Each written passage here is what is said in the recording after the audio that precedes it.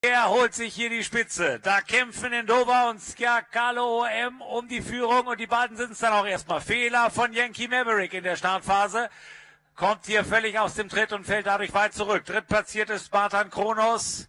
So geht es in den ersten Bogen hinein. Dahinter folgt dann an der Innenkante Eva Kiewitzhof mit einem ordentlichen Start. Dann Swanwise Ass. Yankee Maverick ja nach der Galapade bereits disqualifiziert. Und der Rest muss hier erst einmal wieder den Anschluss herstellen. Denn da vorne haben sich doch einige hier mit einer starken Startphase erst einmal an die Spitze gesetzt. So, vorne ist Gerkalo mit Gerd Holtermann. Geht jetzt in die Schlussrunde. Dahinter dann folgt Spartan Kronos auf den zweiten Rang mit Heinz Wevering. Dahinter sieht man dann in Dover. An der Außenseite Swanwise Ass. Kann hier auch zügig Boden gut machen. Dahinter Eva Kiewitzhof. Jetzt mit Anschluss auch wieder Granador. Dahinter folgt dann SG Sunday und Sing Halleluja. So geht's auf die letzten 900 Meter in diesem Jugendpreis. Vorne an der Spitze ist weiter Skerkalo OM. Skerkalo OM führt. Dahinter folgt dann Spartan Kronos in der zweiten Spur, traben an der Innenkante Spart in Nova alle Möglichkeiten sich auf für vielleicht eine Schlussattacke. Und was macht Swanwise Ass? Weiter in der zweiten Spur traben an Position 4. Dahinter ist dann Eva Kiewitzhof. Da sieht man dann Granador an der Außenseite. Und noch weiter außen ist Sing. Halleluja. So geht es zum letzten Mal die Gegenseite entlang. Und vorne ist Jakalo mit Gerd Holtermann. Totokurs 181 für 10. Das wäre eine faustdicke Überraschung. In Dover dahinter auf den zweiten Rang. Und jetzt kommt Swanwise Ass.